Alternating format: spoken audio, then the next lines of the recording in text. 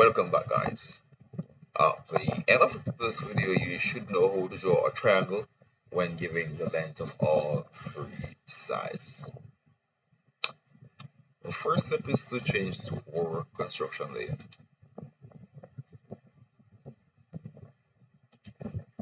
Once you have done that, the next step is to draw a line 65 millimeters or draw a circle of diameter 65 millimeters.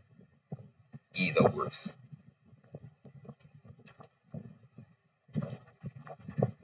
In this case, I want to turn on ortho mode. 65 enter enter. But next step is to establish point C. Uh, point C is 50 millimeters from. Oh, let me let me rename this. This is B. That's C.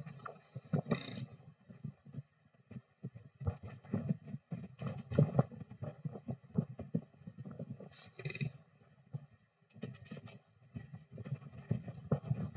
B. A, B, C.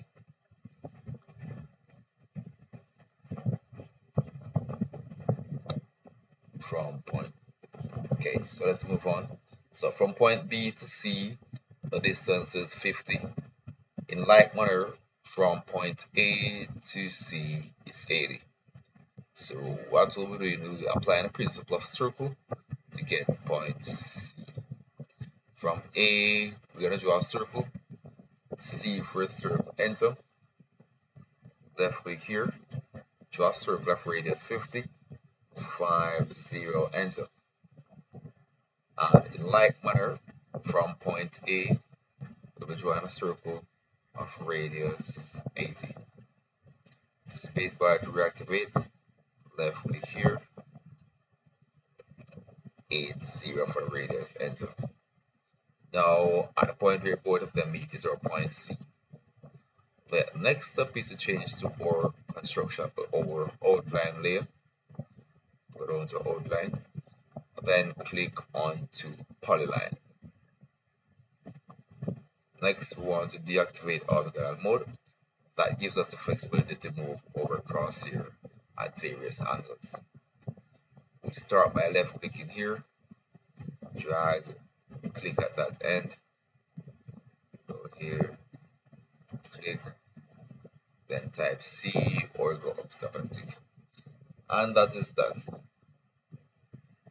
our next step is to trim is to um, add our dimension and our trimmings so let's add our dimension first. Click on align spacebar again. Drag spacebar two times. Click on pull spacebar two times. Click and that's basically how this is done. Quick and fast nice and